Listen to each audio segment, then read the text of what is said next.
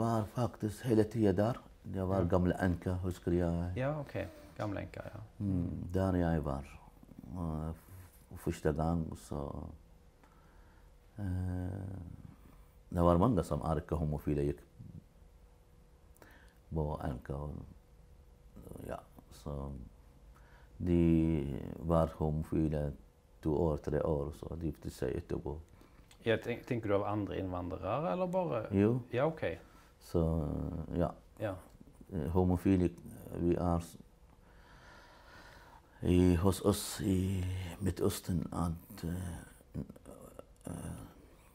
det, sån, det handlar om aktiv och passiv.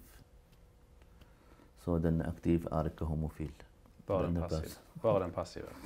Ja. Så skammen är liksom hos han, Ja, den som är passiv. Ja, Ja. Det är han som är homofil. ja, Ja, den aktiva är inte det. ja. Den andra är... Ja. Om du är aktiv där nere i Irak så du är accept. Accepterat. Men om du är... Om din familj fyller ut, du sminkar sig eller har parfym eller inte så gick sånt. Så det blir kaos liksom. Så du mötte, så du mötte alltså på Enka då, så mötte du många andra som hade invandrat till Norge som då levde homofilt någon år. Ja. Ja.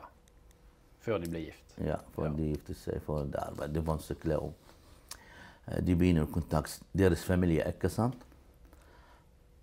Det är väldigt vanskligt att fortälja familjen att du är homofil. Så det... Eh, alltså min erfaring är inte som deras erfaring. Eh, det är skam, du ska vara man. Det är familjen som bestämmer, klanen där nere som bestämmer. Så jag... Ska du leva fri så du måste sluta kontakt med familjen. Kanske du kommer tillbaka till familjen efter några år